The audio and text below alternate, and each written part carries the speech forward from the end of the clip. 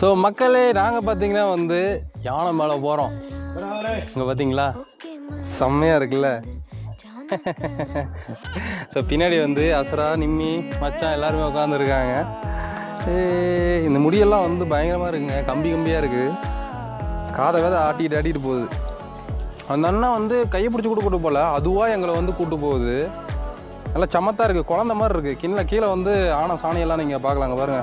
இப்போ தான் சூடாக போட்டு போயிருக்கு. தக்காளி சட்னியை. செமையாக இருக்குது நாங்கள் போகிறதே வந்து ஒரு ஃபாரஸ்ட்டுக்குள்ளே போகிற மாதிரி ஃபீல் ஆகுதுங்க. இங்க அந்த அண்ணன் கூப்பிடுறாங்க. அப்படியே போகுது. நிற்காம வாடா அப்படின்ட்டுது